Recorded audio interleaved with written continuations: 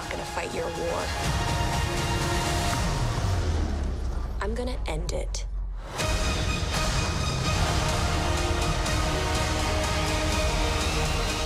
Hey guys, Jimmy O here from JoBlo, ready to talk about the latest from the MCU. That's right, Captain Marvel is here. Now, just about 10 years ago, movie fans were introduced to Robert Downey Jr.'s take on Iron Man. Since then, the MCU has introduced numerous characters and gathered them all together in one of the most successful film series ever imagined.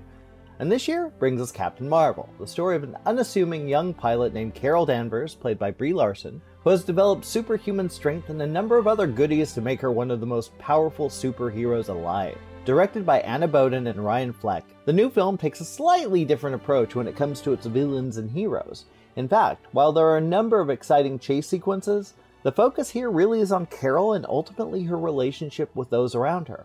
This includes a military commander named Yon-Rogg, Jude Law, as well as her best friend, Maria Rambeau, Lashana Lynch. When we first meet Carol, she is part of a team looking to take down a group of shape shifting aliens called the Skrulls. However, when she is captured by one of them, a seemingly dangerous leader named Talos, played by Ben Mendelsohn, they attempt to gain information from her. While there, she begins to have a spark of memory of who she was before, and when she has the opportunity to escape, she finds herself on a journey to save the planet from a dangerous group of aliens as well as their accomplices.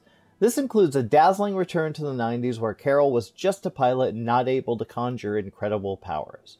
During that time, she finds comfort in her own past relations. It also leads to a couple of very familiar and much younger looking MCU favorites. Nick Fury and Agent Coulson have never looked better. Perhaps most importantly, she reunites with her old friend Maria Rambeau, another character comic book fans will be familiar with, who in turn helps her on her current mission. As far as Brie Larson is concerned, the actress is a fine choice to bring Carol Danvers' Captain Marvel to life.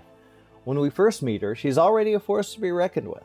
She works alongside an alien race called the Krees, which of course includes Jude Law as the previously mentioned Yon-Rogg. However, even then, Larson brings the character to a grounded and confident level, one that nearly always feels quite human and honest. Unfortunately, she doesn't always stand out when it comes to some of the action sequence, albeit the stunt team around her makes it work well enough.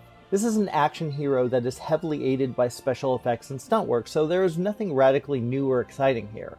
Thankfully, Miss Larson handles the more dramatic journey quite well, so ultimately it comes together. Ryan Fleck and Anna Boden are interesting names to add to the list of directors involved in the MCU. The two come from unassuming and independent projects like Half Nelson with Ryan Gosling, the baseball drama Sugar, and the Zach Galifianakis charmer It's Kind of a Funny Story. Their focus on character and story creates an interesting, and yet not always successful, take on the popular superhero formula. While this approach works at times well enough, the first half of Captain Marvel struggles to find the right tone, and the reveal of her past feels a bit clunky. It was a different take on an origin story as they explain her backstory like a mystery waiting to be revealed. However, it is a mystery that takes a bit too long to uncover, even though it is very clear where it will ultimately lead. In fact, considering the runtime is just over two hours, which is relatively short for a recent blockbuster, the first act is kind of dull and jumbled. Carol's introduction attempts to add something unique to this particular tale, but all too often fails to really invest the viewer. However, early in the second act, we start to get a better sense of the direction they are going. When it comes to the supporting cast, there are a ton of good performances here.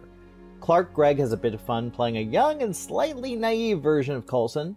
Jude Law shares a terrific connection with Larson, and Lashana Lynch gives the movie a ton of heart as Maria. It's interesting that the best scenes in the film revolve around the two old friends, and since much of this takes place a couple of decades ago, there are a number of cool sequences spread throughout, and this includes a clever throwback to the 90s in an old blockbuster video store. And then there is a one on screen relationship that actually rivals Maria and Carol. Let's just say that every single moment that Samuel L. Jackson spends with Goose the cat, well, it's pretty appealing. And that feline pretty much steals every single scene he's in. Ultimately, Captain Marvel continues to open up the franchise with a few new characters to add to the universe, and Brie Larson gives yet another solid performance as a hero unsure of her own strength. As well, the girl power element will likely appeal to a whole new group of fans as Wonder Woman did for DC. And then there is the cat who I hope becomes a regular in the MCU. And while you can certainly appreciate the heart that Fleck and Boden give it, the film occasionally suffers from an uneven and challenging first act. While the action is certainly enticing, only a couple of the massive set pieces really stand out in my memory. The chase on the train was an enjoyable mix of big screen thrills and humor, and perhaps one of the best moments in the film. Now, it may not be the best in the series, especially with a clumsy and sometimes frustratingly dull first act. But this story definitely offers up a few worthy moments and a couple of cool characters to add into the mix. And for those longing for the 90s, the music and the nostalgia for another period in time add yet another level to the film. The soundtrack is absolutely terrific, and for those wondering, the opening dedication to Stan Lee in the Marvel logo will bring tears to your eyes. Legit, bring tissue.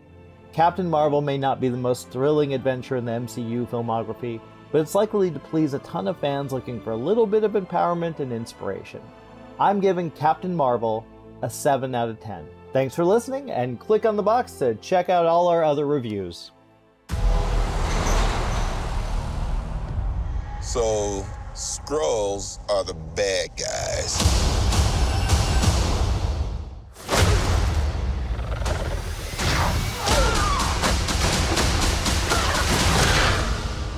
And you're a Kree, a race of noble warriors. Heroes.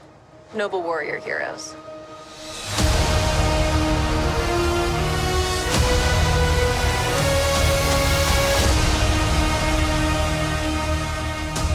Your life began the day it nearly ended.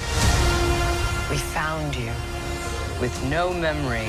We made you one of us. So you could live longer, stronger, superior. You were reborn. I keep having these memories. Something in my past is the key to all of this. You know how to fly this thing? We'll see. That's a yes or no question. Yes.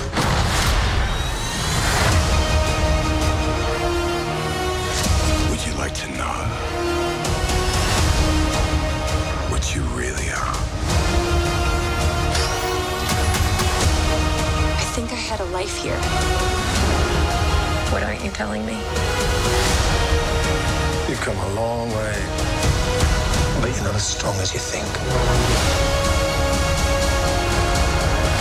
This war is just the beginning. I'm not gonna fight your war. I'm gonna end it.